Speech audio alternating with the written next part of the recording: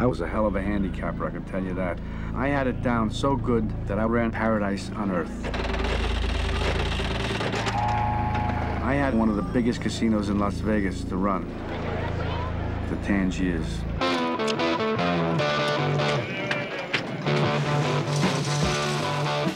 You know, if I did it, I'd have to run it my way. Nobody's gonna interfere with you running the casino, I guarantee it. Vicky, guy? Making a lot of money for us, so keep a good eye on it. All right. Look at this place. It's made of money.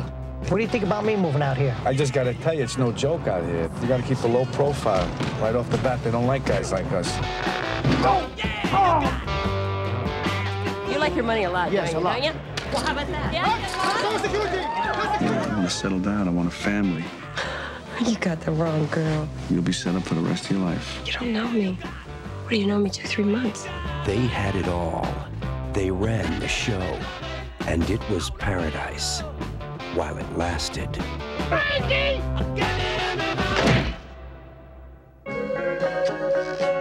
They found a guy's head in the desert. That's no good. We got a problem.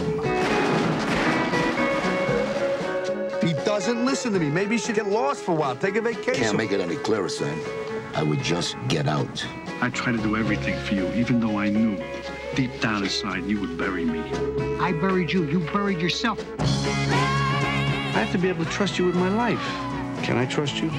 Can I trust you? I will go to the FBI. I will go to the police. I am not protecting you anymore.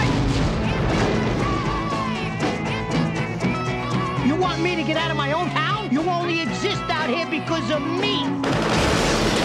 He's a loose cannon. No! You realize what you can do? You can get us all killed! You want to get rid of me?